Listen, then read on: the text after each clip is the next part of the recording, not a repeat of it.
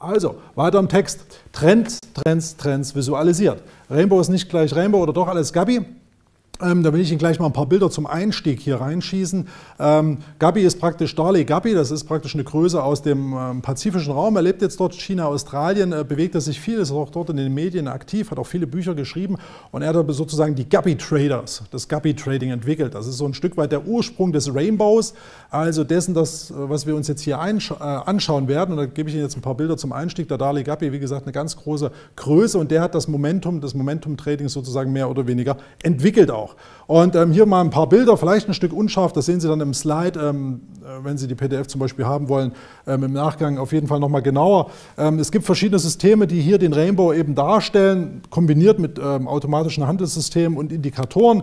Es gibt aber auch hier zum Beispiel im kurzfristigen Timeframe eine Option, dass man den Preis ausblendet und nur die multiplen gleitenden Durchschnitte zeigt. Es gibt aber auch hier eine Art Rainbow schon. Sie sehen hier schon diese, äh, dieses Band, dieses Rainbow-Gebilde. Es ist nicht nicht jedermanns Sache, der Rainbow, aber es ist auf jeden Fall so, dass man hier gewisse Trendableitungen findet und es gibt hier sozusagen auch nochmal ähm, eine, eine, einen Screenshot von meinem Rainbow, den ich praktisch auch ähm, auf dem Desktop, den ich täglich betreue, beziehungsweise auch hin und wieder da die Setups veröffentliche, eben darstelle, wie das sich hier darstellt.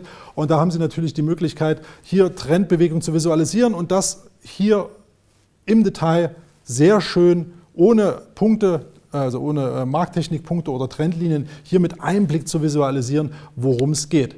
Und Rainbow und gleitende Durchschnitte. Das gehört natürlich zusammen. Das sind hier praktisch zwei Elemente, die sich nicht trennen lassen.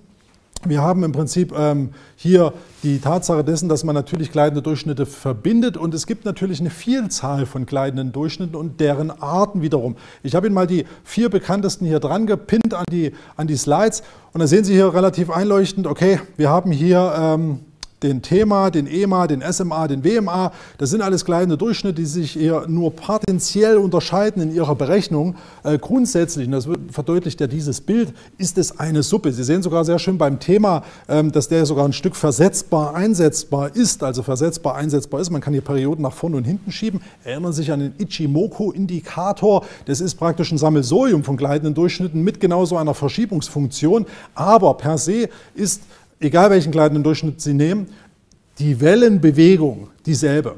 Aus der Praxis, die Profis verwenden in der Regel die exponentiell gewichteten gleitenden Durchschnitte, da diese ein Stück weit näher am aktuellen Preisgeschehen dran sind, also bewegen sich ein Stück weit schneller und ähm, ich selbst nutze auch die EMAs, um das mal so mit zu transportieren, aber es ist eigentlich gleich, welche Sie nehmen. Sie können genauso die SMAs oder die gewichteten äh, nehmen, das ist kein Problem. Wichtig nur, Sie sollten bei einer Art gleitenden Durchschnitte bleiben. Also wenn Sie den Rainbow dann so gestalten, wie wir es gleich sehen werden, also eine multiple Form, also eine ganze Anzahl von kleinen Durchschnitten, dann sollten Sie nicht mit denen spielen, sondern sollten eben bei einer ähm, ähm, Periodeneinstellung oder Ausrichtung viel mehr bleiben. Und somit weiter im Text. Wozu gleitende Durchschnitte? Ja, das haben wir so ein Stück weit ja auch schon erarbeitet.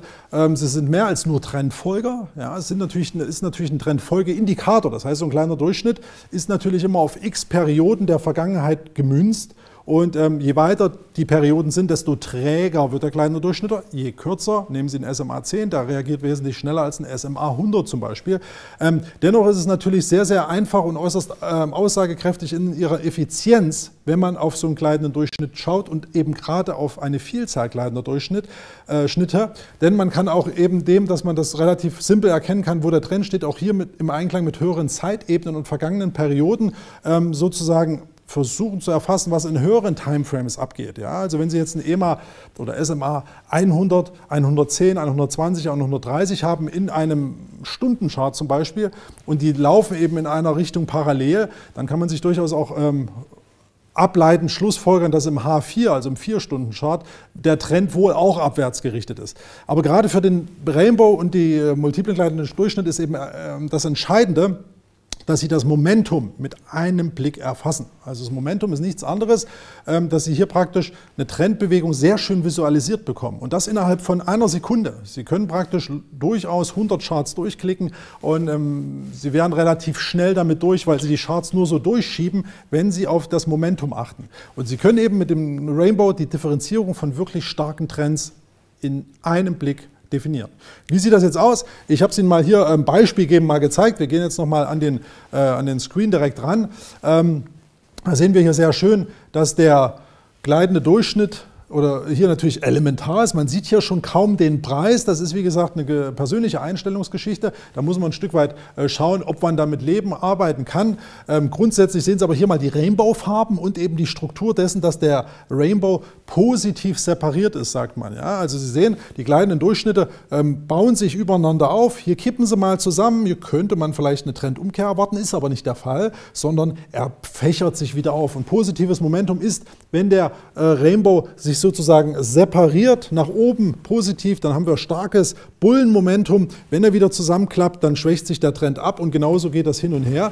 Und wenn der Trend auch beispielsweise kippt, dann sieht man, dass der ganze Rainbow dreht und sozusagen auch die Farben nach unten kippen und sozusagen der Trend, und das können Sie relativ schnell visualisieren, äh, dann eben kippt. Ja, und Sie sehen auch hier, die Trendbewegung beispielsweise läuft nach oben, dann gibt es den Spike nach unten. Hier sind ganz viele Stops abgeholt worden, hier sind ganz viele Marktteilnehmer aufgrund des neuen Periodentiefs hier tief, tief, tief und hier neues Tief. Da ist keiner mehr long ausgerichtet. Aber, Obacht, jetzt kommen die Farben ins Spiel, meine lieben Zuschauer.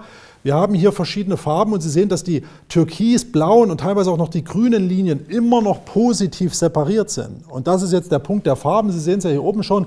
Denn die einzelnen Farben, das Prinzip des Rainbows steht für unterschiedliche Händlergruppen. Ja, also das ist so aufgebaut, dass die Idee stammt vom Darley Gabi und hat sich, wie gesagt, in den angelsächsisch-amerikanischen Raum transportiert. Der Rainbow übrigens selber ähm, schon in den Ende der 90er ähm, in den Foren ähm, in UK durchaus populär. Ähm, hier in Deutschland tatsächlich erst ähm, durch Lars Gottwig, dem COO und Mitbegründer von JFD Brokers, hier eingeführt, denn er selbst hatte ja auch einen Premium-Service bei Godmore Trader früher und hat selbst ja über mehrere Jahre diesen Rainbow mit einem Privataccount gehandelt und er hat davon gelebt. Also es ist nicht von ungefähr, was ich Ihnen hier erzähle aus meiner Erfahrung, sondern der Rainbow hat schon eine längere Geschichte, das Trendmomentum hat eine längere Geschichte und der Erfolg dessen, dass wenn man Trends sauber identifiziert und handelt und erfolgreich damit sein kann, ist nicht von ungefähr. Gehen wir aber zu den Händlergruppen jetzt mal wirklich ins Detail. Sie sehen im Prinzip die unterschiedlichen Farben und die stehen im Prinzip eben für die Ausrichtung, für die Trade-Ziele einer Händlergruppe. Ja, und da fangen wir mal hier oben rot-gelb, das sind die kurzfristigen Trader. Ja, das ist natürlich, wie ich vorhin schon sagte, so ein ähm, EMA 9, 8, 10, 11, 12, 13, 14, das sind eben die engen gleitenden Durchschnitte, die bewegen sich natürlich mit dem äh, Preis wesentlich schneller. Aber das sind die kurzfristig ausgerichteten Händler. Dann gibt es grün in der Mitte, mittelfristig ausgerichtet und blau sozusagen die trägen, längerfristig ausgerichteten Händler, die auch mehr Zeit, weitere Stops, teilweise auch größeres Geld haben, um hier sozusagen Trendbewegungen massiver mitzunehmen. Und der Witz am Rainbow oder die Idee ist eben die, dass man hier so eine Art Lemming-Effekt, man sucht eine Tendenz, wo alle in die gleiche Richtung blasen. Und wir als Trader, als sage ich mal kleine Trader, haben es natürlich mit einem Konglomerat von ja, Banken, ähm, Handelsabteilungen, Family Office, institutionellen äh, Hedgefonds und, und, und zu tun, ja, gegen die will ich mich ja nicht stellen. Vielmehr will ich sehen, in welche Richtung das große Geld eben geht oder das Kapital sich gerade bewegt im Sinne eines Momentums. Und wenn ich das natürlich hier an der Hand des Rainbows so sehe, dann gefällt mir das. Und dann möchte ich natürlich mit diesen Händlergruppen arbeiten und gehe natürlich mit dem Trend. Also es ist eine reine Trendfolgegeschichte. Und wenn die alle in eine Richtung blasen, die Händler, dann will ich da mitfliegen mit der Geschichte, weil, jetzt kommt es, wie eingangs gesagt, die Wahrscheinlichkeit, dass der Trend sich eben fortsetzt, in dem Moment einer Trendbewegung ist viel höher, als dass er sich, wenn Sie hier einsteigen, eben umkehrt. Das ist das Entscheidende. Ja. Und ähm, dennoch muss man natürlich teilweise mehrere Versuche starten, je nachdem, wie Sie Ihr Risk Management, Management setzen. Aber wenn Sie einen guten Trend-Entry dann haben, dann können Sie eben ein Vielfaches Ihres Risikos verdienen. Und wenn Sie dann vorher drei, vier Mal ausgestoppt worden sind, beispielsweise, ist das kein Problem. Sie müssen eben auch nur die Kunst der Trendbewegung oder die Trendbewegung dann auch mitzunehmen, ähm, sozusagen erfassen. Aber ich denke, mit den Farben sind wir jetzt durch. Das ist eigentlich relativ simpel, das äh, Prinzip dahinter. Ja, das ist völlig einleuchtend in meinen Augen und eben visualisiert durch die Trendbewegung. Ich zeige Ihnen noch ein anderes Chartbild, was, wenn ich jetzt von der Thematik sprach, dass Sie äh, mit einem Blick Trendbewegung erhaschen können, dann ist es hier mal ein exemplarisches Beispiel. Links hier der Chart von eben, das ist ein positives Momentum. Und rechts das ist ein Spinning Girl, so hat es der Lars damals genannt. Ähm, das ist hier Ping-Pong. Ja, das ist vielleicht für einen Range Trader interessant, der die Hoch- und Tiefpunkte sucht, vielleicht mit einem Oszillator noch versucht, immer Umkehrpunkte im Chart zu erwischen. Aber grundsätzlich ist das für mich völlig uninteressant. Ja, da brauche ich nicht groß mit Trendlinien oder irgendwas anderem herkommen, sondern ich sehe mit einem Blick, der Rainbow spinnt, der hat keine klare Trendrichtung, ist für mich völlig uninteressant. Ja, und das heißt, man fokussiert sich nur auf die elementaren Trends. Und wenn man die im Prinzip sieht und so halt vor sich hat, dann lohnt es hier einzusteigen. Hier kann man davon ausgehen, dass das eine schwierige Situation ist und trendfolgend wird man hier nur verlieren. Sie wissen das, in Seitwärtsmärkten mit einem Trendfolgeprinzip per se zum Scheitern verurteilt. Ja, da, da, werden viele Konten platt gemacht in so einer Situation, wenn man hier eben nicht definieren kann, wann ist ein Trendmarkt vorhanden, wenn ich Trendfolger bin und wann nicht. Deswegen elementar, wir müssen uns bewusst sein, äh, wann ein Trend ein Trend wird und wann nicht. Ähm, fahren wir mal weiter fort mit den Slides als solches.